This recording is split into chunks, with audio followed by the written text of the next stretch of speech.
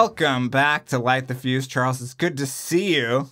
I know we were both kind of out of it for a little while, so I'm I'm glad that we're both well enough to do this podcast and to you know We've been each dealing with our own medical emergencies. We're we're fine. Everybody's if everything's good, we're okay. We're gonna survive. we're all good. But uh, we, we've had it's been a, it's been a crazy week, and I- and I will say that um, it's all you know. Everything is really great today because what did we get in the mail today, Drew? Oh my God. Well, let me tell you the story, Charles. So I was on a call. I haven't even told you this. This will be new to you. And I get a call, and it is somebody from Tom Cruise's office. And I say, Oh, hello. And they said, Oh, I'm outside your building. Do you want to come down and let me in? And I open the door. And what was it, Charles? What, what did we see? Did you know? Did you know what it was at that moment when it, when they called? I had no idea. I, you know, a- anytime anybody calls me, I think I'm in trouble for something. so I was just, you know. And to get the setup, Eddie Hamilton asked us earlier in the week for our addresses, and we didn't know why. I thought maybe Eddie was going to send us a Christmas card or something. I had no Me too. idea. Me too. Uh, and then yeah, so you got it, and then I saw the photo that you posted on Twitter, and then I was like, oh my god. So I got it later in the in the day. Uh, a nice guy came over, and, and yeah, he had like a, a van, and he was just delivering cakes. We got the we got the Tom Cruise cake. That's that's what happened. And you know what? There are multiple sizes of the cake, and we got the tippity top biggest one. It's huge. Yeah. There's no way I can finish this cake. I'm, I'm, I'm, I'm going to cut it in half and freeze. I'm going to freeze half, maybe even three quarters of it. It's gigantic. It's like your wedding cake. We should freeze it. And this is a suggestion by Carly Wiesel. She said, freeze it and eat it at the premiere of Dead Reckoning Part 1, which I think is a great idea. That's amazing. Yes, and uh, speaking of Dead Reckoning Part 1, today we've got a special treat for everybody. I'm sure you've already seen it from the title of the episode. Christopher McQuarrie, who was in South Africa shooting Mission Impossible Dead Reckoning when we bothered him to come back on our show again to talk about Jack Reacher. Jack Reacher came out 10 years ago this month. It was uh, December 2012 that it came out. Uh, I'm sure, what was the exact release date? It was late in December. I think it was like the 19th. Maybe the 17th or something. It was late. So anyway, we've got McQuarrie coming on here for the next three weeks. We got a three-part epic interview with him, where we talk about everything Jack Reacher. I loved this conversation. I, I, you know, we haven't really talked to him either, either of us, you know, in our personal lives or on the show about the movie, and I haven't really heard him talk about it that much. And Yeah, we love the movie, and it was obviously very important. It was his first, you know, directorial collaboration with Cruise and his first directorial effort since Way of the Gun. So yeah. it's a really great chat. It's an important movie and a really interesting movie in his filmography. And yeah, I was excited to go back and I revisited it before we talked to him. And it's just, it's a great movie. If you haven't seen it, you got to watch it. It's another Tom Cruise action movie that's directed by Christopher McQuarrie, obviously based on the books. Uh, but this was a crazy chat we had because he was in South Africa shooting Mission Impossible Dead Reckoning. You were in London for the Avatar premiere, and I was in Los Angeles. It was kind of a miracle that we were able to coordinate the timing of this Yeah. and make it happen. But uh, this is an ama- amazing chat. Part one is mostly about how McQuarrie got got onto the project and his approach to the material, and then we'll debrief it afterwards. And then there's there's Okay. there's pl- plenty more to talk about in, in parts two and three. Uh, so yeah, enjoy this. And and uh, before we start, obviously, uh, Oh, you yeah. should do No, your Charles, part don't the cut show. me off here. Come Oh, on. sorry, Come- sorry, sorry. Come on. I got to do my shout outs. I obviously this episode is brought to you by Jeremy Dillon and his podcast My Favorite Album and he wants us to remind everybody to listen to his making of Better Call Saul episodes. Uh, also this episode is brought to you by John B, uh, Elvis Ripley and Suchet. So thank you all so much. We could not do this podcast without you. Okay, Charles, now I'm done. So if you want to throw to the interview, Hey, yes. Let's go to Christopher McQuarrie on the 10th anniversary of Jack Reacher. Here we go.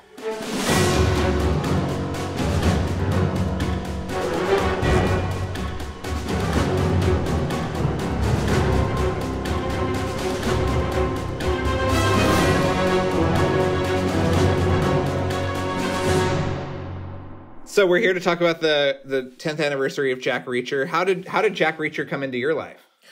Um, Jack Reacher came into my life uh, with uh, by way of Don Granger, who uh, is a, a producer on the film uh, and was at the time working for Cruise Wagner or had been working for Cruise Wagner prior to Cruise Wagner becoming United Artists, which then went on to make Valkyrie. And that's where I met Don and worked with him very closely.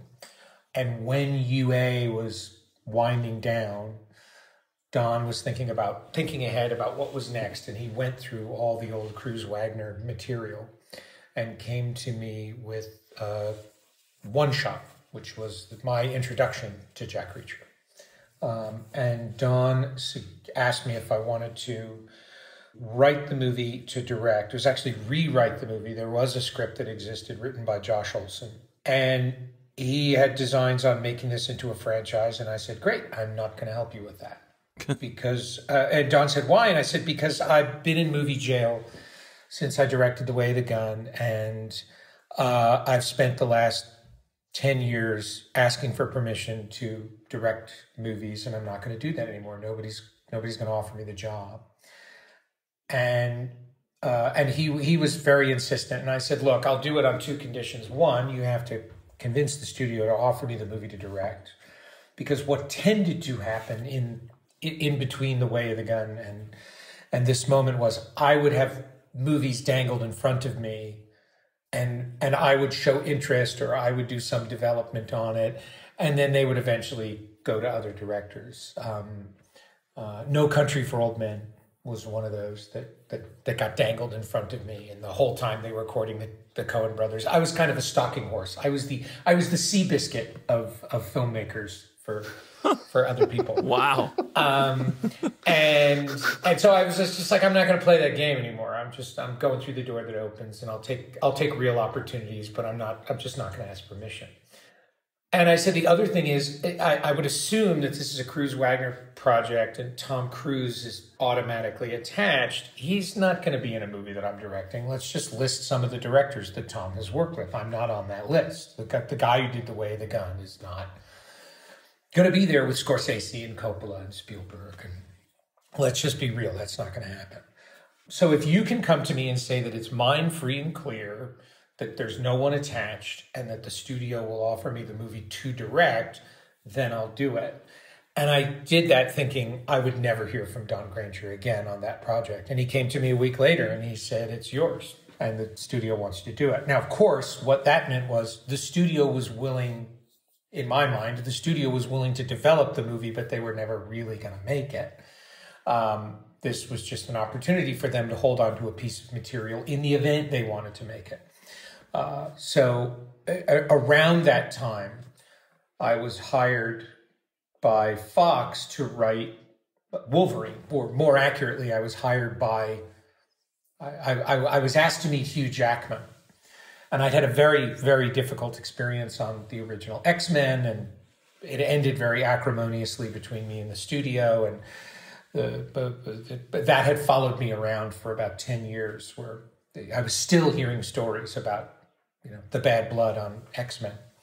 And uh, John Palermo, who had been an assistant on the original X Men, was now Hugh Jackman's producer. And Hugh Jackman was looking to go back to something more akin to the original X Men. And he, he he was he was saying, I want to get back to the the spirit of that film. How do we do that? And John Palermo raised his hand and he said, Look, the guy you want to be talking to is Chris McQuarrie. What the X Men kind of took the turn that it did when he came on the project. And I was sort of a I was sort of a name that nobody mentioned in the room uh, after what had happened on X Men. A lot of bad things went down on X Men. I'll just summarize it. A lot of bad things went down on X Men, for which I was blamed, and which which was not the case. Uh, and and but because I wasn't communicating directly with the studio, I was I was used as a scapegoat for a lot of stuff. Uh, so there was there was just a lot of bad blood. And there was no way to ever sort it out. In any case, when I got the call to meet with Hugh Jackman, my first reaction was absolutely not. And I thought to myself, well, wait a minute. You you you know the animal now. You know what to do now. And this is an opportunity to meet Hugh Jackman. So just take it knowing you won't get the job. Uh, and that's what I did. I took the meeting. Uh, and when I walked in, there were there were individuals in the meeting who who had been there on X Men and who quite clearly did not want me to get the job. And and and and clearly we're still carrying a lot of the energy 10 years later. And i thought i'm going to make you love me despite yourself. And i pitched the shit out of wolverine. Um, and unfortunately i got the job which was not my intention. My intention was just to just to meet hugh jackman. Um, and when my lawyer called me he said well you you you fucked up. You got it. And i said well no just ask for too much money. And and then they and then they won't give me the job. And he said no you're going to take the job and you're going to and you're going to and you're going to show them what you can do. And so i did that. I took wolverine knowing the the mechanism now as i did not then knowing that not a single word of what i wrote would ultimately make it to the screen and because of that i was just free to to deliver. I just said, I'm just going to write the best movie that I can. I'm going to get this thing up on its feet. And when it's time for me to go, I will. And that's exactly what I did on Wolverine. And so I was in that state of mind when Jack Reacher came to me, which is you're going to write this movie and no one's ever going to make this movie. And just write the best script that you can and don't think about whether or not the movie's going to get made.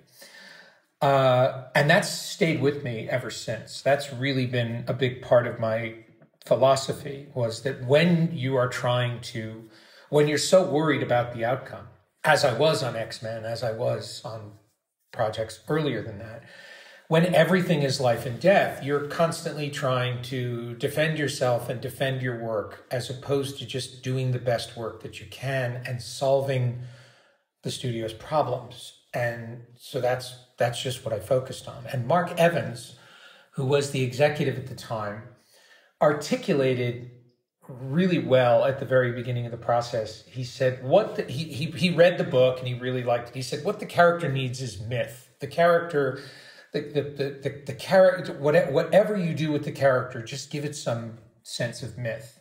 And I thought it was a very good note. And I took that to heart. And that became the, the construct of the introduction of Jack Reacher. And it's why I think Don's choice of One Shot as the book to introduce this character to a bigger audience was the better choice. I know Fran, fans of the the books and fans of the franchise feel like it should have been the killing floor and it should have been in chronological order, et cetera, et cetera, et cetera.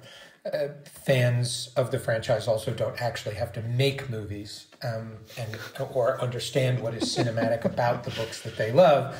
And and and that's that that's essentially what happened. I wrote the script, and while that was happening, I was writing Wolverine for first for Hugh and then for Darren Aronofsky. And in the midst of all of this, I finished the script and handed it in. And you guys will love this as as the hosts of Light the Fuse. I handed in the script, and the script ultimately went to Tom Cruise, who was the producer on the movie. And Tom called me out of the blue about, about a week after the script went in, which is not something you're expecting to hear back that quickly. And he said, Hey, listen, uh, I read Reacher and I loved it. Uh, I don't have a lot of time to talk. I'm, I'm on set right now, but listen, I read the script and I loved it. I want to talk to you about it. Uh, the studio is going to call you tomorrow. I said, "What?" He goes, "Yeah, yeah, your studio's going to call you tomorrow." Anyway, listen, I just, I just want to call real quick and say I love the script. I'll talk to you later. I got to go. He hung up. And I thought, wow, that was just, that's amazing that I wrote this script. And a week later, the studio's calling me about it. The next day, Marc Evans called me from Paramount and he said, okay, listen. So I spoke to Tom and I think he called you. I said, yes, he did. He said, great. We're going to send a script over today. I said, you're sending a script? He said, yes, we're, we're sending a script over. I said, what's the script? He goes, he, he, did, he didn't tell you? I said, no, he just called to tell me he liked Jack Reacher and that you would be calling. And he said, Yes, we're, we're calling to send a script. I said, What script? He said, Mission Impossible.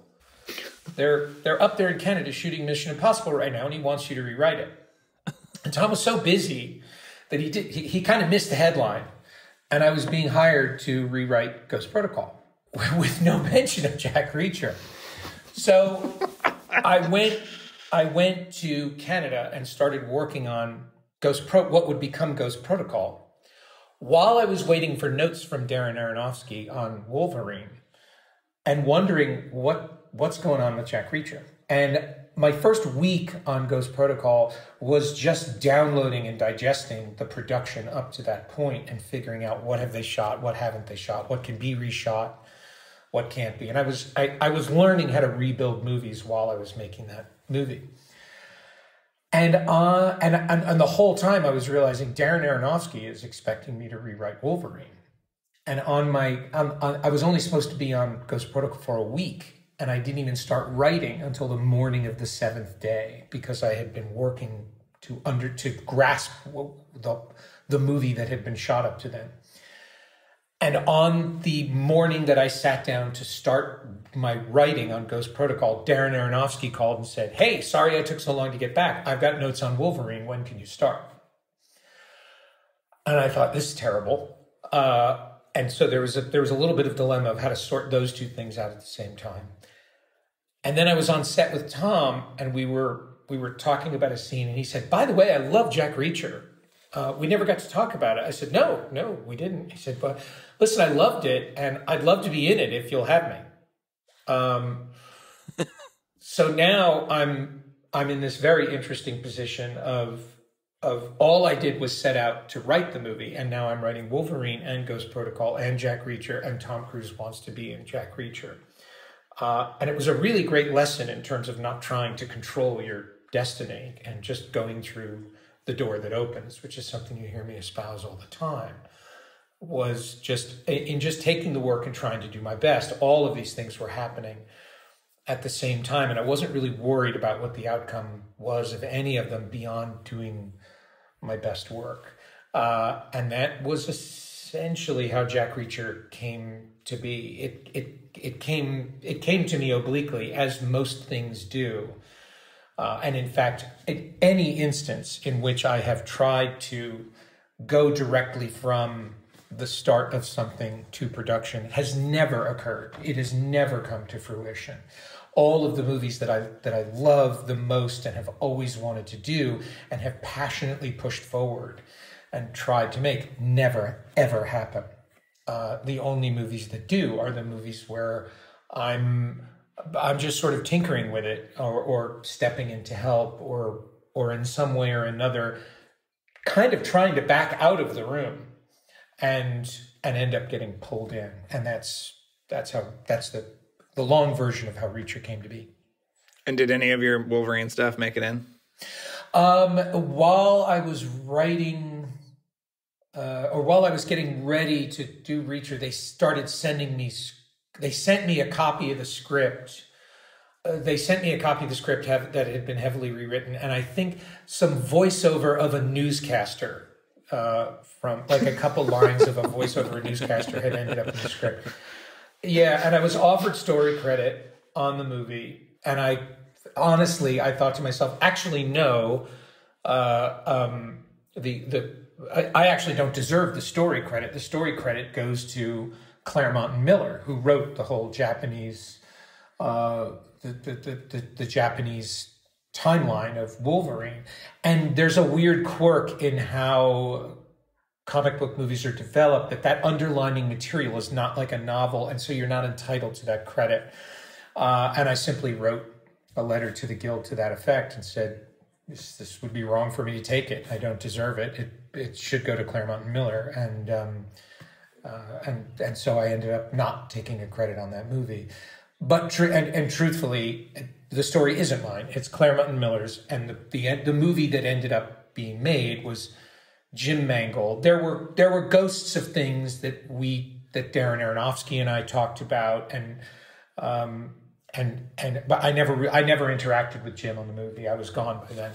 Um, but story wise, I felt like I couldn't take credit, and frankly, I thought I I I maintain that Wolverine is probably the best thing I ever wrote for hire for a studio. Um, it just it just wasn't it wasn't what they were looking for, and it's and I wrote the movie as as I would have made it. I was not I, I was not trying to write what I think they were looking for and could not articulate in terms of a big a big spectacle. The other problem is you're not when I'm developing a movie like that, I'm not in the room with the director. I'm not developing for a filmmaker.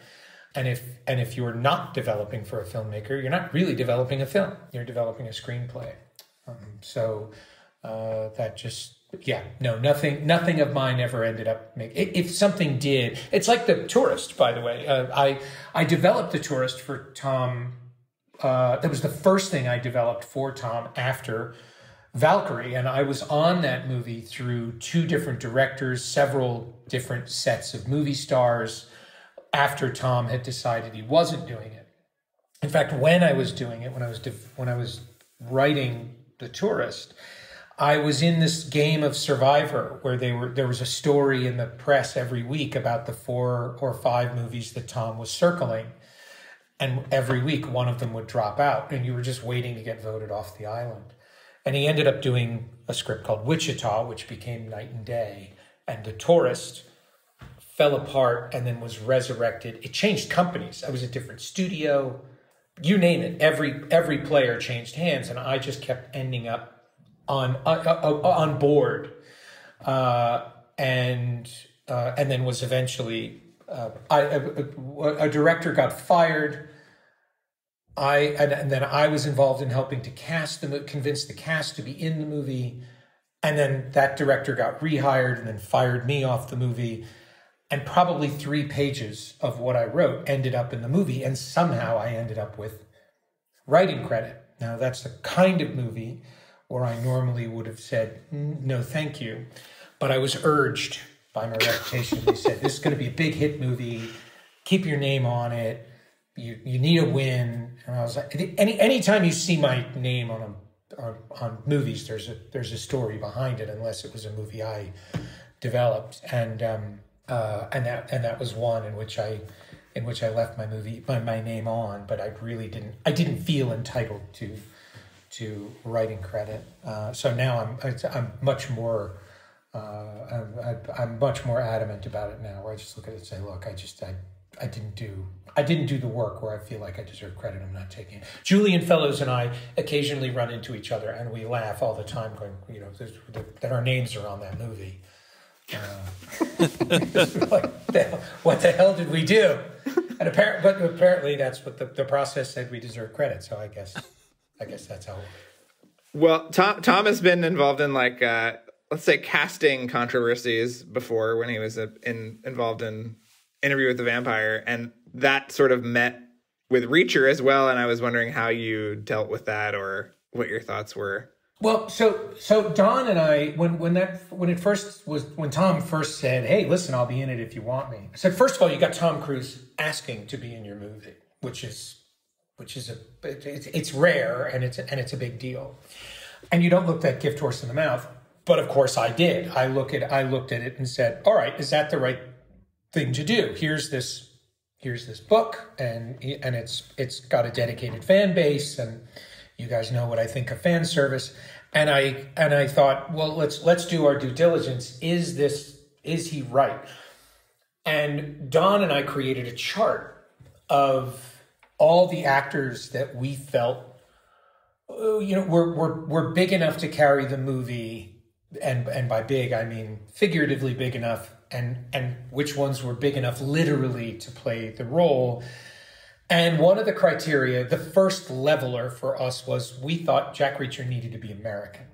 He was a distinctly American character. Um, it's very the, the books are steeped in Americana and so we felt we, we kind of leaned towards an American, even though there were a lot of really good Brits and Australians who were on that list. Um, and we graded it. We created a, a chart where you graded it based on physicality, humor, intellect, uh, and I think there were a couple of other things. And we we gave every you know we sort we scored everybody based on that.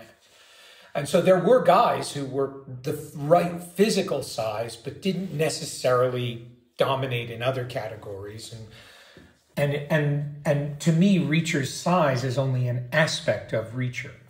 And this was very naive of me because in, to the fans of the books, Reacher's size is absolutely everything. It's it's it's um, it's extremely extremely important to to them and uh, and so there was this, we, we anticipated a visceral reaction. And we went to Lee Child, we sat down with him in New York. We had dinner, and Tom and I, or Don and I, brought out this chart, and it and showed Lee, here's what we're thinking, and Tom wants to do it, and Lee understood that in making the movie this way, you were going to. He was only going to expand the movie to a bigger audience, and Lee was more than enthusiastic about it. And I said, "What about the fans? You know, uh, you, you, this is your book, and it's your fan base, and um, is there any concern that they're going to have a reaction to that?" And Lee said, "Yeah, they probably will." And he and he told us in a far less diplomatic way than I'm saying to you now, not to worry about the fans, not to not to concern ourselves with it. So with Lee's blessing, we figured uh, we figured we were okay and we were good to go. And then I think you we've we've spoken in the past about um, the you know the efforts that we made to acknowledge the details of the book and to to make references and winks and nods to the to fans of the franchise, to those people who who know that stuff in detail. And it was all misinterpreted. So the scene where Jack Reacher takes where Tom takes off his shirt in the and is washing his shirt in the sink, that's a typical Reacher scene in that it's it's showing you a he has no luggage, he has no spare clothes. This is all he does. He lives in hotels, and also he's got scars all over his body, which are all very specific to other chapters of the Jack Reacher story. All anybody saw was Tom Cruise taking off his shirt in a scene in front of Rosamund Pike, and and I learned a very that that was it for me. That was the end of fan service for me, where I just said it's not. It, it can it, it's fine if you if if the story happens to go there, but to specifically go after that, you do so at your peril because they don't they don't they don't they don't read it that way. They're gonna they're gonna read it with whatever their bias is, and that that was kind of the, you know, that's why when I get asked about Superman and Star Wars and all those other movies, I'm just like, I don't think you want me, fan. If you're a fan, you I don't think you want me to do it. I'm gonna make I'm gonna make Star Wars the the way I think Star Wars should be made. Now that that doesn't mean I'm gonna put my stamp on it. It means I'm I'm going to go back to the to the egg as I always do with every project I come onto. I'm going to go back to the source. Gonna, you're going to make a movie like 1977 Star Wars, or as people call it, Episode Four: A New Hope. It's it's Star Wars. That's that's what it is to me. That's that's how I grew up watching it. You're going to go and you're going to make that movie.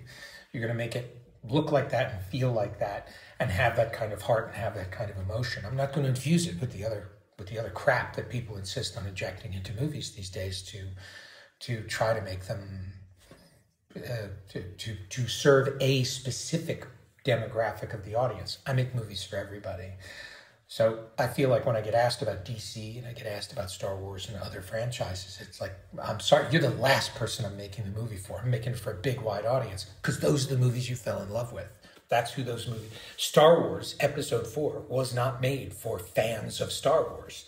It was made for the audience, and it's like, yeah, it, did, it didn't exist then, and that's that's what's that's what's sort of choking a lot of this franchise stuff to death. I feel is that they're they're coalescing an audience. They're taking they're taking a, a an admittedly large but very distinctly passionate for, portion of the audience and corralling them into a place at the expense of movies in general. I don't want to use the big C word and say cinema, but they're you what you're doing is you're cultivating an audience to love a certain kind of film.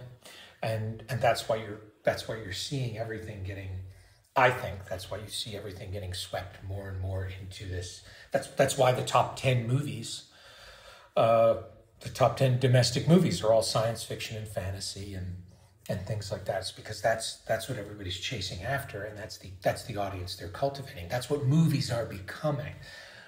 And I'm I I reject that. I, I feel like you can have big commercial movies that are also movies for everybody and not just fans. Right. Uh, and all of that all of that emanates from a hotel scene in Jack Reacher where I just realized I don't work for you people. I just I'm never going to do that again. I, I did it. I I tried to I tried to make a peace offering. You know, I this is how I could get Jack Reacher made. This is how I could bring your big character your character to the big screen. Um, and and I gave you winks and nods as a as a as a consolation. You rejected it. Great. Now we all know where we stand. I don't work for you guys anymore. And I never will. Wow.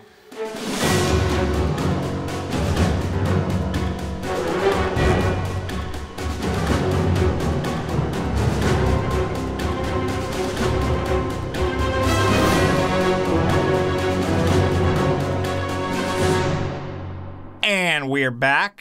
Wow. That guy. Gotta love him. Um, wow. Yeah, that's uh, uh, the, the the biggest thing for me. uh, Had you ever heard that he was working on No Country for Old Men? No, I want to know what else because he said you know there were things that were dangled in front of him, including that one. Yeah. Uh, now we got to know what else. That he it sounded like he was kind of the bargaining chip to get other people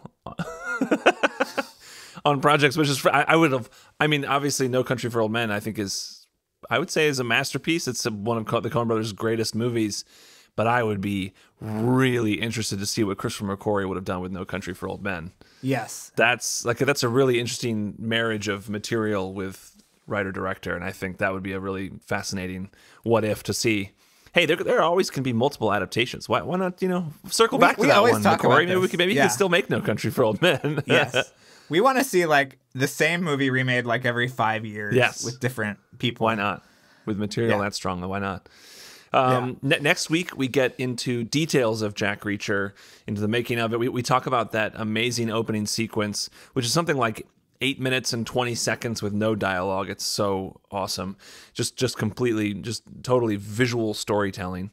We also discuss the incredible car chase, and uh, he goes into detail about my favorite shot in the movie, and then he talks about your favorite shot in the movie. That's all next week. And of course, we've also got a part three coming after that. So there's plenty to come. And can I just te- can I just tease one thing about part three? Yeah. We get into what this next Tom Cruise, Christopher McQuarrie project could be. Oh my God. And if you are not so excited by episode three, I don't know if you're listening or Yeah. not because, yeah. Anyway, Yeah. Can't, I'll just tease that. That's a good tease. Yeah. Come on back for that. Um, I've got to give a special thank you to Derek Klingel and to Sonia Miranda. Thank you, Derek and Sonia, for making this episode possible. I also want to credit our editor and mixer, Luke Burson, and our composer, Kevin Blumenfeld. And I also want to thank our intern, Amber Cohen, who is helping us set up a Discord for our Patreon subscribers. So that's a, a good time for me to tell you to sign up for our Patreon. It's patreon.com slash light the fuse and you get weekly bonus content. We do episodes there every week, uh, always about anything that's going on movie related, uh, anything that's going on with Mission Impossible, anything. We, we talk about all of our favorite movies. I'll, we'll talk about your favorite movies. You can always give us suggestions. So please sign up and support the show. You can also support the show by buying something from our TeePublic store, which is teepublic.com slash user slash light the fuse pod. I think I got that right. If I didn't, then you can go to our website, lightthefusepodcast.com, and in the merch tab, there's a direct link there, uh, along with a few samples there as well. And, and while you're on the website, check out our episode guide. Look at the show notes for all our episodes. It's a great visual companion to all of this. And what else, Drew? Well, I want to encourage everybody to like, subscribe, rate, and review wherever you're listening to this podcast. And to know that next time you hear us, we probably won't be as congested, I think. I hope. you know, we're kind of going through some stuff, but I think we're, We're gonna getting get through better, it. I hope. Okay. Right? Yeah. COVID is Yeah. raging through my house right now. Uh, you've got some other flu thing. We're we're getting through Yes. it. We're you know what? We're getting through We're it. gonna be stronger on the other side. It's gonna be great. And you are going to be stronger when you come back next week for the awesome part two of this great chat with Christopher McQuarrie.